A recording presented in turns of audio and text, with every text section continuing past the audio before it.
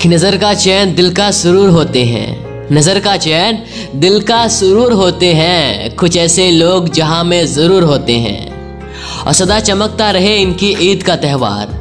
सदा चमकता रहे इनकी ईद का त्यौहार। करीब रह के भी जो दिल से दूर होते हैं।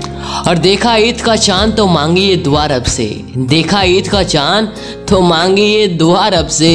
तेरा साथ दे दे ईद का तोहफा समझकर। आप सभी को ईद मुबारक।